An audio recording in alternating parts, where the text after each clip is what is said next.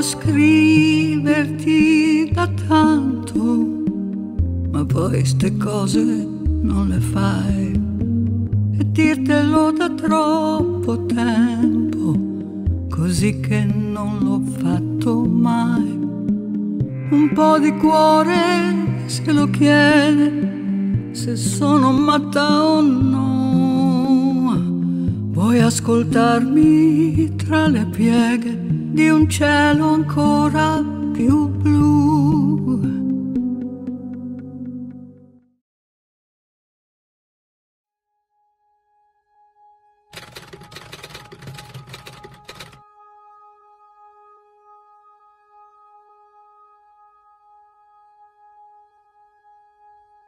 Siena, città misteriosa perché fatta a chiocciola, con le vie attorcigliate l'una sull'altra ci attende sotto le torri e una luna enorme.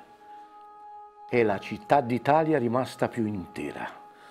Una città del Medioevo, un'opera d'arte unica che non ha paragone nel nostro mondo occidentale. Un solo animale completo con testa, cuore, arterie e zampe, di cui rimane lo scheletro quasi intatto, depositato su tre colli. Così Siena mi fu definita da Bernard Berenson e per quanto io faccia, non riesco a trovare una definizione migliore di questa.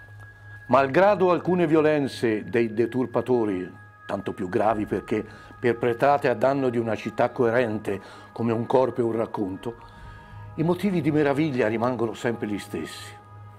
Firenze è una città medievale rivestita dal Rinascimento, ma Siena resta medievale e quasi immobilizzata nel tempo. La meraviglia nasce dalla visione di uno scheletro intatto di città medievale che ha nulla di archeologico. La vita d'oggi, con le sue accese passioni, vi ribolle quasi con furia. Mai, nemmeno per un istante, si ha l'impressione di vivere in un anacronismo. A Siena si hanno quei momenti perfetti in cui il passato più lontano risale a galla fino a noi, confondendoci col presente, diventandogli contemporanei. Non potrò mai dimenticare una sera in cui sedevo in piazza del campo, quella in cui si corre il palio. Davanti a me la luna piena sembrava veramente salire dai merli gotici del palazzo pubblico, lungo il filo della torre del Mangia, per poi librarsi sopra l'ultimo ballatoio che diveneva allora l'ultima tappa di una salita di luna in un medioevo astronomico ma il popolo passeggiava e i bambini giocavano lungo il perimetro nel centro incavato della stupenda piazza fatta a forma di valva. Il passato e il presente, il vicino e l'astrale sembravano far parte di un medesimo tempo. Il mistero della città viene dalle sue strade strette, curve, girate le une sulle altre, a forma di spirale o di chiocciola, o se vogliamo prendere il paragone più vieto, dei petali di una rosa che si coprono con i loro strali. Infilando una strada si ha l'impressione di costeggiare senza vederla una strada più interna e di compiere il giro della città pure in uno spazio ristretto, seguendo un numero infinito di itinerari. Così ogni strada ha un doppio fondo, un segreto e quasi un retroscena che l'accompagna. E questo è il primo e il grande incanto di Siena intonati con Siena medievale, erano perfino i ragazzini cattivi, simili a piccoli arcieri, che guardavano di notte da una finestra del mio albergo. In questo scheletro di una città medievale direi che anche i sentimenti sono asciutti, ridotti all'osso e animati da uno spirito di antagonismo innato.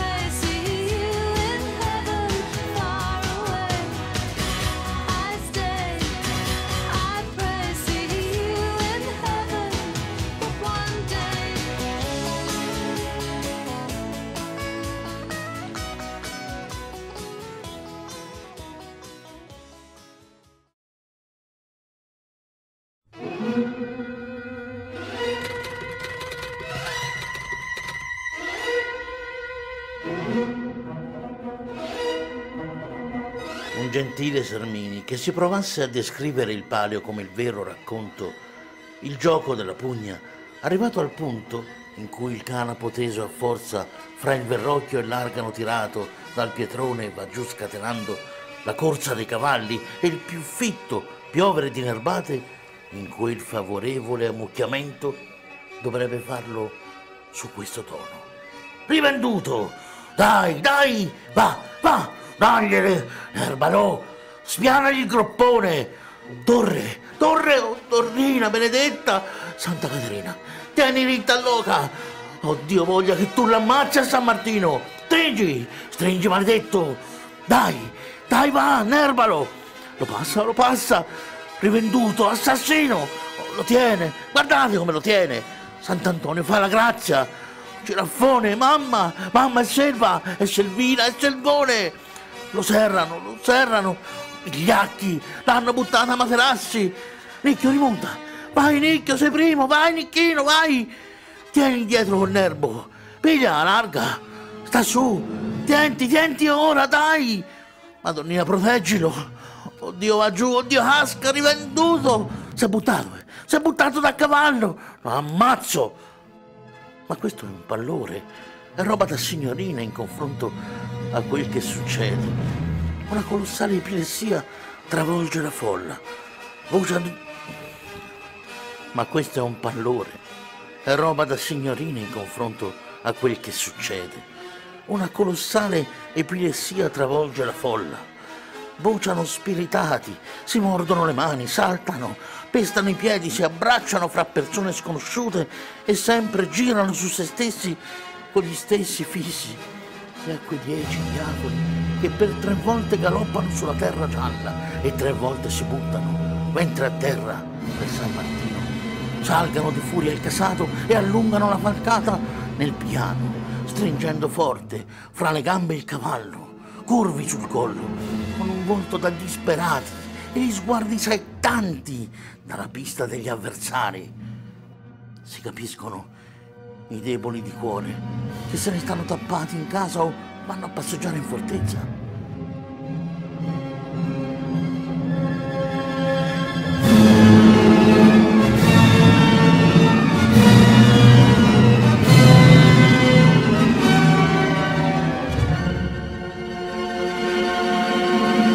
Volevo